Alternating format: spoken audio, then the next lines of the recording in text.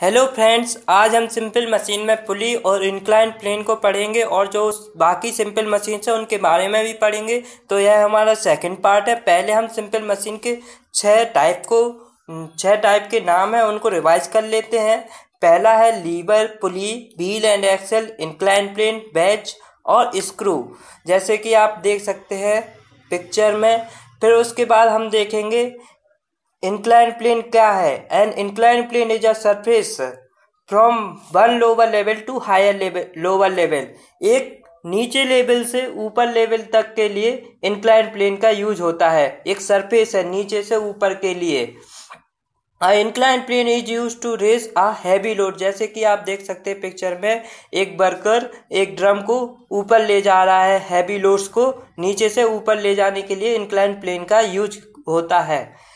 Incline plane slant में रहता है। अब हम देखेंगे स्क्रू के बारे में पढ़ेंगे। A screw is a special case of incline plane screw जो है, वो स्पेशल केस है इंक्लाइन प्लेन का। That has be rolled up जिसे रोल कर दिया हो, जैसे कोई पेपर को रोल अप नहीं कर देते अपन, वैसे रोल अप कर दिया हो। पहले हम समझेंगे कैसे एक incline plane screw incline plane application है special case of incline plane का है स्क्रू तो पहले हम देखेंगे, इसके लिए एक एक्सपेरिमेंट ट्राई करना पड़ेगा। Cut out a right angle triangle form of sheet wrap it on a pencil the pattern form by the hypotenuse of the triangle is like the thread of screw हम जैसे कि picture में देख सकते हैं screw जो है screw को, जो सॉरी जो पेपर है, उसे हम राइट एंगल ट्रायंगल में काट लेंगे, फिर उसके बाद हम उसे लेपेट लेंगे। तो जो फॉर्म होगा ना लाइन सी वो thread of a screw types की होंगी। अब हम देखेंगे यूज़ ऑफ़ स्क्रू स्क्रू का क्या यूज़ है? A screw generally use to hold things together चीज़ों को साथ में रखने के लिए स्क्रू हैगा। स्क्रू का यूज़ करते हैं सॉरी अब हम देखेंगे बैट्स। बैट्स क्या है? आप wedges is another application of incline plane दूसरा एप्लीकेशन है इंक्लाइन प्लेन का। डेप्थ मूव जो मूव्स कर सकता है it is saved like saved like भी जो भी के शेष होता है। एग्ज़ाम्पल के तौर पे axe knife are the example of wedges. जैसे कि आप देख सकते हैं अब बर्ड में फोर्स लग रहा है जो लकड़ियों से काटने के लिए।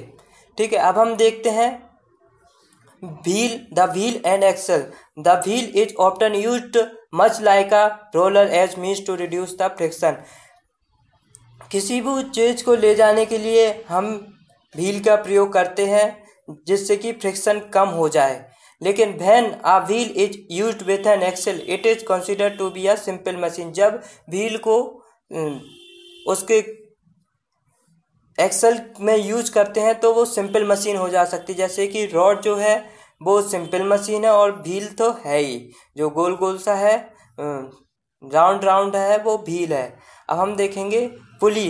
A pulley is a simple machine which is use for lifting a load by applying an effort in a suitable and convenient direction pulley वो है जिसमें अपन को, जो अपन फोर्स लगाते हैं सुटेबल और कन्वीनियंट डायरेक्शन में लगता है। और यह वेट को या लोड को उठाने के लिए काम आती है।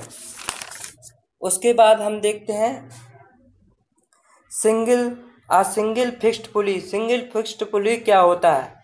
सिंगल फिक्स्ड पुली में देख सकते हैं, एफर्ट नीचे अप्लाई होता है, द लोड एफर्ट, लोड और एफर्ट दोनों इक्वल मूव होते हैं, लेकिन उनकी डायरेक्शन जो रहती है वो अपोजिट रहती है। आ सिंगल मूवेबल पुली के बारे में पढ़ेंगे। The pulley system, the wheel rest on the rope. जो व्हील है, वो रोप पर रेस्ट करता है। रोप पर रेस्ट करता है, लोड को व्हील पर फिक्स कर दिया जाता है। व्हील और लोड दोनों ऊपर आते हैं। व्हील और जो लोड है, जैसे देख सकते हैं आप दोनों ऊपर आते हैं। और नीचे की तरफ़ इसमें एफर्ट लगता है। अब हम देखेंगे ट्रू नहीं सॉरी अपवर्ड अपवर्ड की तरफ़ एफर्ट लगाते हैं। टू पुली सिस्टम दो पुली सिस्टम का देखते हैं क्या होता है। जब एक फिक्स्ड पुली और एक मूवेबल पुली यूज़ होते हैं, साथ में होते हैं तो एफर्ट कम लगता है वन अपॉइंट हाफ़ एफर्ट लगता है।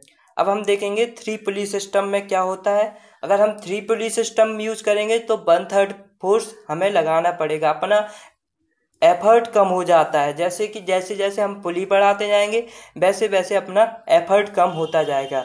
तो थैंक यू दोस्तों। यहीं पर हम वीडियो को ख़त्म करते हैं। Thanks for watching. Like, share and subscribe ज़रूर करिएगा।